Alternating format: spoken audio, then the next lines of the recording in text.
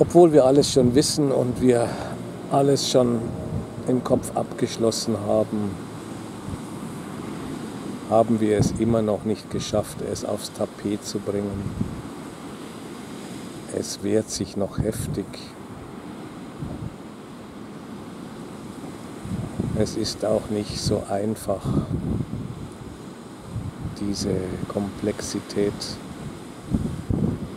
in eine einfache darstellbare Form zu komprimieren.